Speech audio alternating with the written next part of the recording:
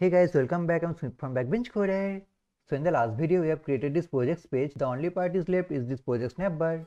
So in this section, we are going to create this projects navbar. So let me just go to the final version. Here it is. So this is my projects navbar. It looks simple, but I need to add some functionalities here. So let's start by creating the UI. So just go to the component, the projects component, the projects.tsx. Here is my navbar, but I am going to create a separate component for this projects navbar. Just go to the components folder and create projects navbar, the name of the component. Tsx cool rafc here it is nice and it will return all the nav items. But i'm also gonna create a separate component for this nav item because i need to add some functionalities on this nav item. Here this react mongo express django are separate nav item so let's create separate component. I'll be creating that component inside this file. Let's name this nav item so underscore rfc again rfc only. Okay projects this is what? Uh-huh nav item let me just zoom in. Cool close the sidebar nice. So it will just return a list item. Uh-huh not div list cool. It will also get the value as the property so just use typescript. So this navbar is a functional component. At this point you are familiar with this. Okay just use generic inside an object just you know, define the property define the type of the property not property. So value string but no it's not string. It will be actually a category because we have also defined the type category remember? Just go to types.ts these are all the separate category react node express django right? So we are going to specify the type as a category. So this is not string this is category. Cool. Let me just import this. Auto import did not work cool. But remember we are also using this all as the nav item. This all and this all is not defined inside this category type. Inside this category type right. So we need to use all. It can be all. So small all. And then just grab this value. And just destructure this. Cool. And just return this value. Inside this list item. Cool. Save this and now we can use this component. So inside this projects navbar inside the div i can pass nav item. Uh-huh nav item come on you sudo let's pass the value. For first one is all. Now look at this. If i just misspell this like a triple l it will give me an error. Like a triple l is not assignable to type react node express django mongo all. So that's the beauty of typescript. Okay fine just copy this copy this copy this copy this copy this. Just change this to react. Then this is mongo. Then this is django. Anything else? Node. And remove this all. Cool. Save this. Nice. So just go to projects.tsx and import this projects navbar remove this nav. We don't need that. Projects navbar Oops. save this. Let's see. Go to localhost 3000 and here is my navbar all react mongo django node. Let's add some sexy tailwind. Go to this project navbar go to this div the wrapper div. Add class name. First of all i'll make this flex. Give some space between the items. So space x. Around 3 unit. Padding x 3 unit. Padding y 2 unit. And list decoration none so list none. Nice. And controlled overflow so overflow x scroll cool. It's flakes actually. Aha cool. Save this. And now just go to our nav item. Target this list.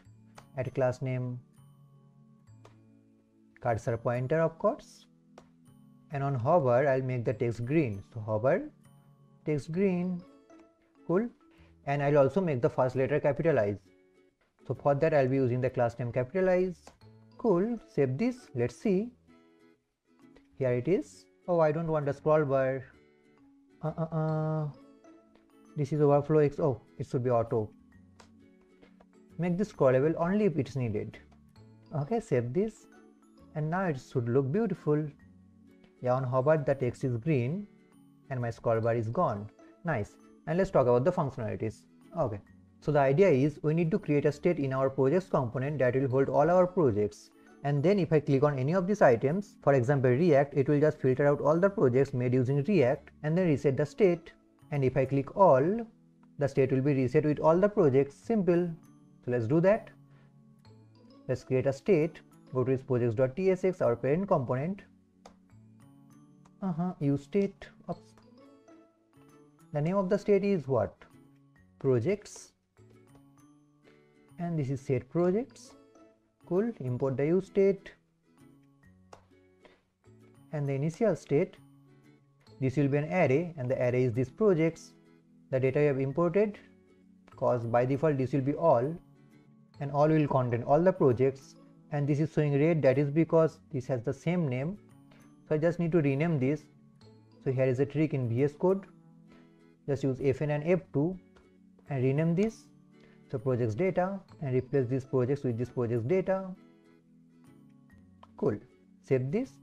And then we are also mapping over this projects which is our state. So we don't need to change that. Cool. So we have created our first state. And let's create the handler. So const handle filter category the name of the function. Arrow function. Cool. So i trigger this function every time a nav item is clicked so if I click React, I'll pass the React. If I click Mongo, I'll pass the Mongo. If I click all, I'll pass the all. Right, so let's handle this. So the data is coming as category. The type is not string, but category or all. It can be all. Category, I need to import that. So control and space, imported. And by the way, guys, notice that inside this project navbar, I have also imported this category. So it is simple, but yeah, just import that cool okay so if this is all if the category is all in that case i need to handle this in a different way. So basically if this is all i'll set the projects with the projects data again and i'll also make the active item as all. So for that i also need to create another state. So this is again use state. The name of the state is active which will hold our active item.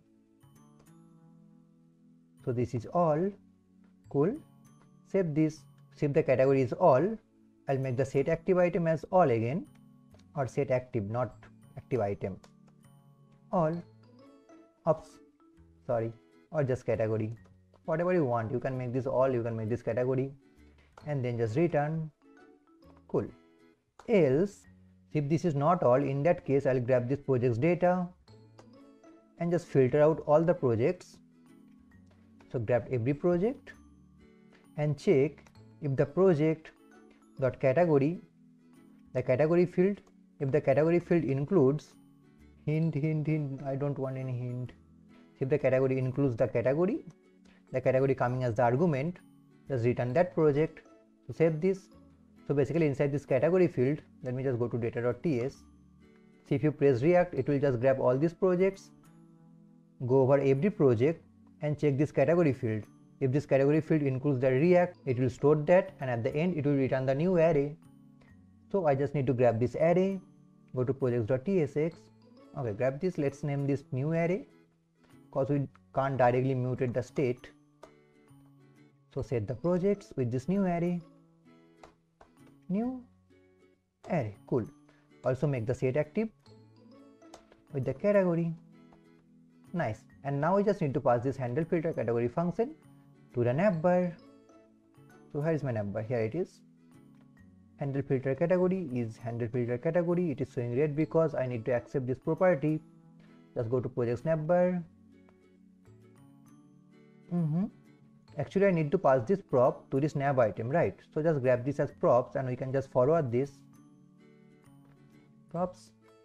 Select every nav item and just forward the props. So inside the brace dot dot dot props nice and then inside this nav item you can just grab this value. So the property name is handle filter category which is a function. Cool. Just destructure this handle filter category nice and trigger this function if this list item is clicked. So on click and nice arrow function handle filter category cool and just pass the value. Nice.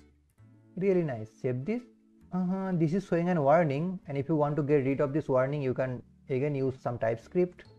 So function component inside this generic you can just use you know handle filter category is a function. That's it. Save this the warning is gone. See it should work. Nice. Okay so you don't have any style for the active item but let's try to click on react. Oh it works. So these are all the projects made using react. Click on mongo this is the only project made using mongodb. And here is the django. And here is my node. Nice. Okay now let's handle this active item. If the item is active in that case i need to show the active item in green color. Just go to nav item. Where is my nav item. Here is my nav item. Actually you can use the conditional class inside this class name but but it will be messy. So what i'm gonna do i'm gonna cut this class name. And at the top i'm gonna create a new variable. Name this oh, not var late. Class name and paste this here. Nice. And if the active item is same as this value i'm gonna add a new class. So for that i need to get access to the active state. And how can i get access to the active state? I need to pass the state. Come on it's simple. Property drilling. In sort so here is my active item right? Yeah. So i'm gonna pass this active where's my navbar here it is. Active is active. Cool. Uh, yeah this is showing red because I need to accept this property. Go to project navbar mm -hmm. here I'm getting all the props. That is fine. But inside this generic just get the active. And this is string. You can make this category but that is fine. Okay. And you are just forwarding this and grab this category here. Category as string cool this structure the active not active active bro cool. And now I can compare this. So if the active is same as value in that case the class name is class name plus equal to that's my Tabnine AI based auto completion text green remember to put a space before this text green here is the space because these are gonna concatenate right? And now just pass this class name here. Inside this brace pass the class name. Nice. And here is my all which is active. Go to react. React is active. Go to node. Node is active. Again click on all. The state should be reset. Here it is. So with this i think i am done with the projects page. I need to refactor the style i guess. Yeah but we are gonna do that in the last part of this project so hold on we are not finished yet with the tailwind css and I also need to change the scroll bar color. That is not a big deal. You can just use scroll bar thumb and just change the color. So that's it. See you in the next video. Bye